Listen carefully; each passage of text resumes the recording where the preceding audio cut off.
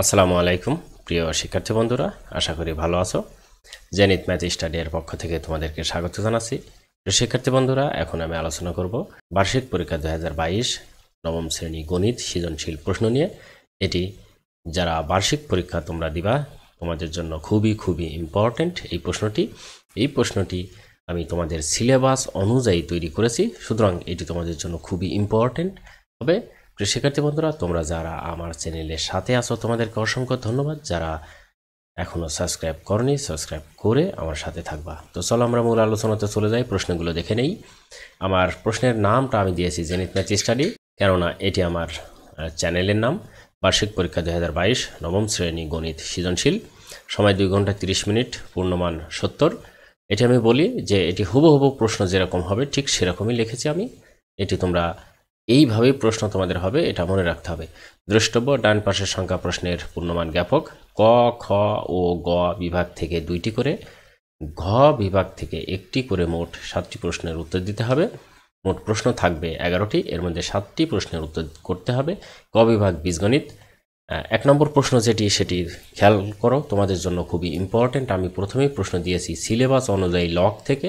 এই লগের যে উদ্দীপক দেওয়া আছে সেটি হচ্ছে এক্স সমান টু ওয়াই সমান থ্রি জেড সমান ফাইভ এবং এক নম্বর একটি সূচক থেকে যেটি বলা হয়েছে three to the power m plus one by three to the power m into আবার তার to the power m minus one এবং m nine to the power m plus one by three m minus one to the power m plus one এটি একটি উদ্দীপক। এখন এখান থেকে ক নম্বর প্রশ্ন দেখাও যে y log x plus y log z সমান লগ ফোরটি এটি আছে ক নম্বর প্রশ্ন।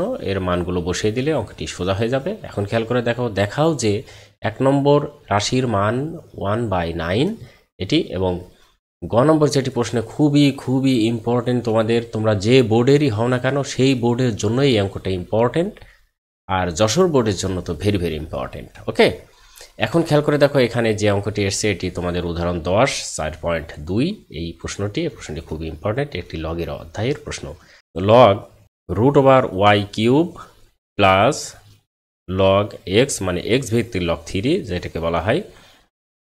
এখানে মানগুলো বসিয়ে দিলে ক্লিয়ার হয়ে যাবে।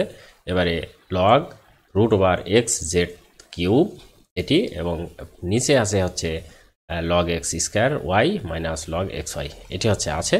এখন এর মান নির্ণয় করতে বলছে প্রশ্নটির মান চার। এখন খেয়াল করে দেখো, ঠিক একই রকম দুই নম্বর প্রশ্ন যেটি আমি দিয়েছি, সেটি হচ্ছে এগারো অধ্যায় থেকে এখানে দুই নম্বর প্রশ্নটি খেয়াল করো one by a plus one by b সমান টু বাই এক্স এবং p square x minus one by p sorry two p plus x সমান ফাইভ এটি দেওয়া আছে। এখন ক নম্বর যেটি বলছে, সেটি যোজন ও বিয়োজন কি, সেটি লিখতে বলছে।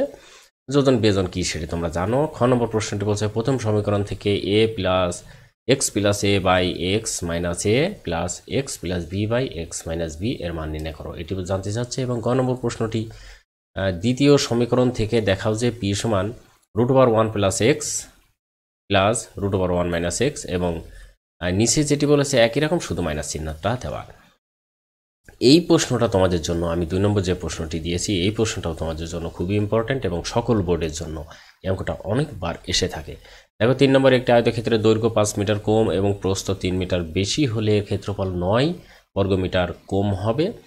আবার দৈর্ঘ্য তিন মিটার বেশি, প্রস্থ দুই মিটার বেশি হলে এর ক্ষেত্রফল সাতষট্টি বর্গমিটার বেশি হবে। ক নম্বর, দৈর্ঘ্যকে এক্স এবং প্রস্থকে ওয়াই ধরে সমীকরণ জোট গঠন করো। খ নম্বর বজ্র গুণন পদ্ধতিতে ক, এ প্রাপ্ত সমীকরণ জোট। সমাধান করে এক্স ওয়াই এর মান নির্ণয় করো। এটা বলছে, এবং গ নম্বর যেটি বলছে, দশ পার্সেন্ট এর আয়তক্ষেত্রের দৈর্ঘ্য দশ পার্সেন্ট বৃদ্ধি পায়, এবং প্রস্থ দশ পার্সেন্ট হ্রাস পায়, তবে আয়তক্ষেত্রটির শতকরা কত হ্রাস বা বৃদ্ধি পাবে? এটি খুবই ইম্পর্ট্যান্ট অঙ্ক। চার নম্বর প্রশ্ন, দেখো, আমরা চলে যাচ্ছি জ্যামিতি অধ্যায় থেকে, জ্যামিতি থেকে।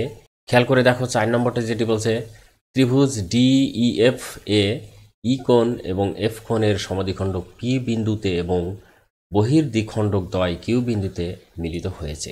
এটি একটি চিত্রটি তোমাদেরকে আঁকিয়ে নিতে হবে।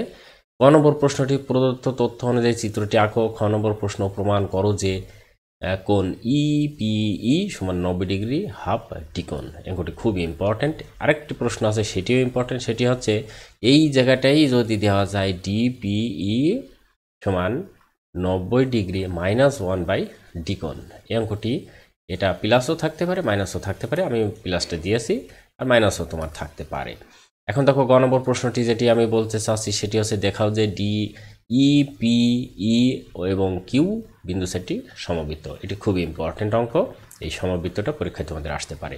এবং একটি সমকোণী ত্রিভুজের সমকোণ সংলগ্ন দুইটি বাহু দৈর্ঘ্য থ্রি সেন্টিমিটার এবং ফোর সেন্টিমিটার দেওয়া আছে। এটিতে ক নম্বর তথ্যের আলোকে ত্রিভুজটা অঙ্কন করো, গ নম্বর ত্রিভুজটি পরিবৃত্ত অঙ্কন করো এবং গ নম্বর উক্ত বৃত্তে এমন দুটি স্পর্শক অঙ্কন করো যেন তাদের অন্তর্ভুক্ত ষাট ডিগ্রি হয়। প্রিয় শিক্ষার্থী বন্ধুরা, তোমাদেরকে বলতে হলে এই গ নম্বর অঙ্কটি খুবই খুবই ইম্পর্টেন্ট তোমাদের আসবেই অবশ্যই, এটা আমি মনে করি। তারপরে খেয়াল করে দেখো, ছয় নম্বর, এটি জ্যামিতি অংশ ও কেন্দ্রে বিশিষ্ট এবিসি বৃত্তে একই চাপ বিসি এর উপর দণ্ডায়মান বৃত্তস্থ কোণ বিএসি এবং কেন্দ্রস্থ বিওডি বিওসি এটি দেওয়া আছে। এখন বলছে, ক নম্বর প্রশ্নটি, প্রদত্ত তথ্য অনুযায়ী চিত্রটি অঙ্কন করতে বলছে তোমাকে এবং প্রমাণ করো যে বিওসি সমান হাফ ডিও বিওসি বিএসি সমান। আর গ নম্বর প্রশ্নটি যেটি বলছে যে এডিসি কোণ প্লাস বিডিসি কোণ সমান এক সমকোণ হলে প্রমাণ করো যে এ ও সি একই সরলরেখায় অবস্থিত। এটিও কিন্তু ইম্পর্টেন্ট বিশেষ করে এই অঙ্কটা হ্যাঁ এই অঙ্কটি ইম্পর্টেন্ট ওকে এখন দেখো ত্রিকোণমিতি ও পরিমিতি অংশ, যেটি তোমাদের জন্য এইবারে শুধু পরিমিতি অংশ থেকে দিয়েছি, কেননা পরিমিতি অংশটাই তোমাদের সিলেবাসে আছে, খুব ইম্পর্টেন্ট আর যাদের অন্যান্য অংশ আছে, তাদের দ্বিতীয় মডেলে আমি অবশ্যই দেবো, ঢাকা বোর্ড। যাদের হচ্ছে ইয়ে আছে মানে ত্রিকোণমিতি, নয় পয়েন্ট এক এবং নয় পয়েন্ট সিলেবাস আছে পরবর্তী প্রশ্ন আর একটা আমি তৈরি করব। একটি সমবাহু ত্রিভুজের প্রতিবাহ দৈর্ঘ্য দুই মিটার বাড়ালে এর ক্ষেত্রফল থ্রি রুট থ্রি বর্গমিটার বেড়ে যায়। ক নম্বর প্রশ্নটি বলছে প্রতি বাহুর দৈর্ঘ্য এ মিটার বাড়ালে এর ক্ষেত্রফল কত হবে? খ নম্বর প্রশ্ন বলছে, উদ্দীপকের আলোকে প্রতি বাহুর দৈর্ঘ্য নির্ণয় করো এবং গ নম্বর বলছে, নতুন ক্ষেত্রফল নির্ণয় করো। এটি প্রশ্ন খুব ইম্পর্টেন্ট আট নম্বর অঙ্ক দেখো, একটি আয়তকার বাগানের ক্ষেত্রফল তিনশো বর্গমিটার যদি বাগানের দৈর্ঘ্য তেরো মিটার কম হয়, তাহলে বাগানটি বর্গাকার হয়। ইম্পর্টেন্ট অঙ্ক কিন্তু। এখন বলছে, ক নম্বর এর পরিসীমা ও কর্ণের দৈর্ঘ্য নির্ণয় করো আয়তক্ষেত্রের। খ নম্বর বাগানের দৈর্ঘ্য প্রস্থ নির্ণয় করো এবং বর্গাকার বাগানের বাইরে চারদিকে এক মিটার চড়া একটি রাস্তা আছে। রাস্তার ক্ষেত্রফল কত? খুবই ইম্পর্টেন্ট একটি অঙ্ক। এই অঙ্কটি তোমাদের জন্য খুবই ইম্পর্টেন্ট একটি, আরেকটি নয় নম্বর অঙ্ক সেটি যেটি বলছে, একটি বর্গক্ষেত্রের পরিসীমা একটি আয়তক্ষেত্রের পরিসীমার সমান। আয়তক্ষেত্রটি দৈর্ঘ্য, প্রস্থের দ্বিগুণ এবং ক্ষেত্রফল দুইশো অষ্টাশি বর্গমিটার। ক নম্বর প্রশ্ন, আয়তক্ষেত্রের দৈর্ঘ্য প্রস্থ নির্ণয় করো। গ, খ নম্বর প্রশ্ন, প্রতিটি চল্লিশ সেন্টিমিটার বর্গাকার পাথর দিয়ে বর্গটিকে, বর্গক্ষেত্রটি বাঁধতে মোট কতটি পাথর লাগবে? এটি ইম্পর্টেন্ট একটা অঙ্ক। মনে রাখতে হবে। এবং গ নম্বর, যদি আয়তক্ষেত্রটির ক্ষেত্রফল এত বর্গমিটার হয়, তবে বর্গক্ষেত্রটি বাঁধাতে মোট কতটি পাথর লাগবে? ওকে, এখন দেখো ঘ বিভাগ পরিসংখ্যান। পরিসংখ্যান থেকে দুটি প্রশ্ন আসবে যে কোনো একটি প্রশ্নের উত্তর দিতে হবে তোমাদের মাথায় রাখতে হবে।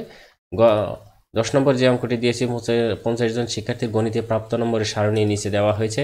এখানে একত্রিশ থেকে চল্লিশ মানে শ্রেণি ব্যবধান ধরা হয়েছে দশ, এখানে একচল্লিশ থেকে পঞ্চাশ একান্ন থেকে ষাট, একষট্টি থেকে সত্তর এবং একাত্তর থেকে আশি, একাশি থেকে নব্বই এবং একানব্বই থেকে একশো। এটি হচ্ছে মোট শ্রেণি ব্যবধান, এটা দেওয়া হয়েছে এবং গণসংখ্যাটা হচ্ছে six eight ten twelve five seven two এগুলো দেওয়া আছে।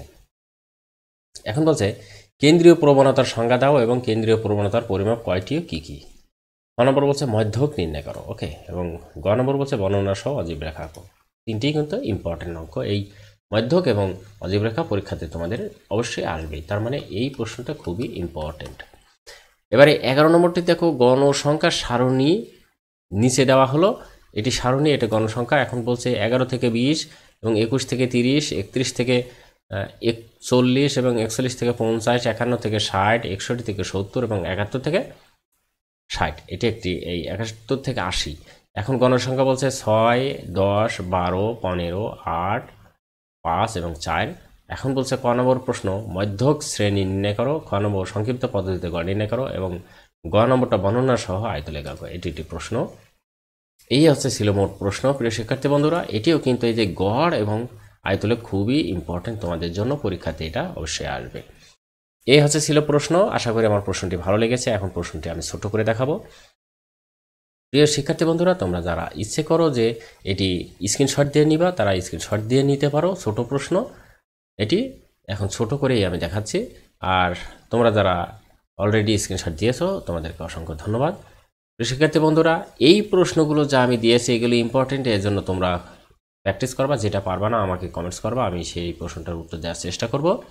তাহলে তোমাদের সমস্যা সমাধান হয়ে যাবে। প্রিয় শিক্ষার্থী বন্ধুরা, তোমরা ভালো থাকো, সুস্থ থাকো, আগামীতে তোমাদের সাথে অবশ্যই দেখা হবে। অন্য কোনো মডেল প্রশ্ন অথবা এমসিকিউ মডেল প্রশ্ন অবশ্যই নিয়ে আসব আমি। তোমরা ভালো থাকো, সুস্থ থাকো। আল্লাহ হাফেজ।